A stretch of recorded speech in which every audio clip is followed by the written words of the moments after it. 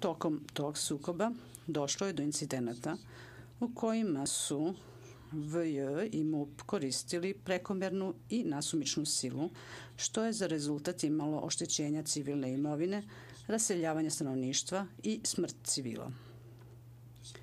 Uprkos naporima da se kriza okonča, što je uključivalo dovođenje na Kosovo međunarodne verifikacione misije, sukob se nastavio do 26. marta 1999. godine i nakon toga, kada su snage NATO-a započele vazdušnu kampanju bombardovanja ciljeva u SRJ. Ta kampanja završila se 10. juna 1999. godine, a snage SRJ i Srbije povučene su s Kosova. Poglavlja presude bave se analizom dokaza u vezi sa navodnim naporima u pregovorima između kosovskih albanaca i vlasti SRJ i Srbije tokom 1998. i 1999. godine. Raznim međunarodnim sporazumima zaključenim u oktobru 1998. i situacijom koja se razvila nakon toga, kao i u vezi sa sudelovanjem međunarodnih sagovornika u nastanju da se kriza razreši, što je za ishod imalo konferenciju u francuskom gradu Rambujeu u februaru 1999. godine. Uglavnom, nije sporno da je značajan broj ljudi s Kosova napustio svoje domove tokom NATO-ovog bombardovanja, od koji su mnogi preko granice otišli u, Alban u Albaniju i Makedoniju. Dokumentarni dokazi i svedoci koje su izveli i tužilac i odbrana, potvrdili su te nagle pokrete stanovništva, prvenstveno kostovskih albanaca. Na primer, u nizu izveštaja koje je štab MUPA poslao u centralu MUPA u Beogradu u periodu od 24. marta do 1. maja 1999. godine beleži se broj kosovskih albanaca koji su u tom periodu prešli granicu. Prema tim izveštajima, U prvoj sedmici NATO-ovog bombardovanja više od 300.000 kosovskih albanaca otišlo je u Albaniju ili Makedoniju. Već 6. aprila taj se broj udvostručio, a 1. maja dostigao 715.158. Tužilac tvrdi da su te stotine hiljada kosovskih albanaca iz pokrajine pobegle usled nasilničkih delovanja i prinude snaga SRJ i Srbije, koje su pokrenule kampanju terora i nasilja protiv albanskog stanovništva Kosova, kako bi ga proterale iz domova i prisile da preko granice izađu iz zemlje. Toj tvrdnji išli su u prilog dosledni do iskazi mnogobrojnih svedoka kosovskih albanaca, zajedno s iskazima nekih bivših pripadnika VJ i MUPA koje je tužilac izveo kao svedoke. Međutim, Svedoci koje je izvela odbrana dosledno su negirali da je postojalo ikakvo organizovano proterivanje kosovskih albanaca iz njihovih domova, a mnogi od njih naveli su druge razloge za masovni pokret kosovskih albanaca preko granice u Albaniju i Makedoniju, uključujući samo NATO bombardovanje i aktivnosti OVK. Pretresno veće ima na umu činjenicu da su u nekim delovima Kosova, kako u 13 opština koje se navode u presudi, tako i drugde, ljudi možda odlazili iz svojih domova zbog raznih razloga, kao što su direktive OVK, želja da ne budu prisutni dok se vode borbe između OVK i snaga SRJ i Srbije, ili pak zaista zbog toga što su se ciljevi NATO bombardovanja nalazili u blizini mesta gde su živeli.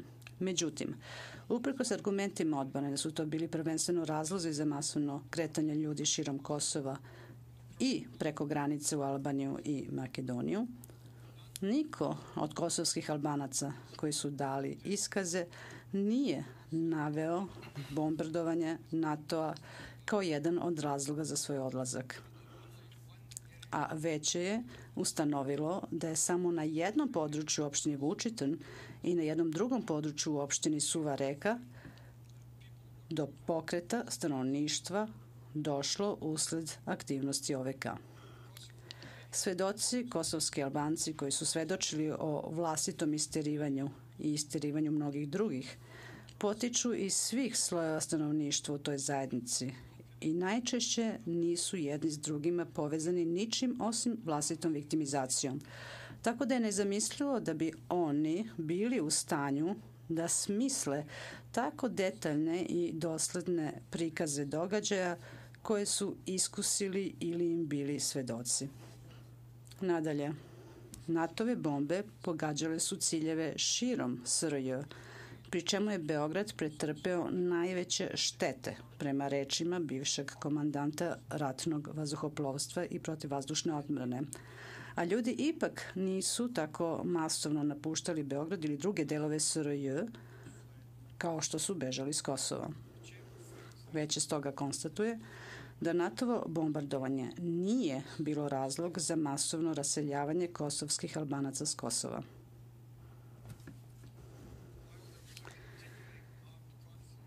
Iako se istovremeno s NATO-om kampanjom odvijao oružani sukob između OVK i snaga SRJ i Srbije, veće ne smatra ni da je taj sukob bio razlog za bekstvo stotina hiljada kosovskih albanaca od kraja marta do početka juna 1999. godine.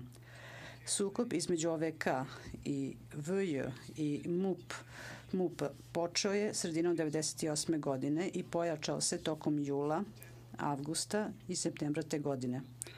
Iako su mnogi kosovski Albanci tokom tog perioda bili raseljeni, većina ih je ostala unutar kosovskih granica i nije bilo masovnog pokreta ljudi preko granice koji je započeo tek 24. marta 1999. godine.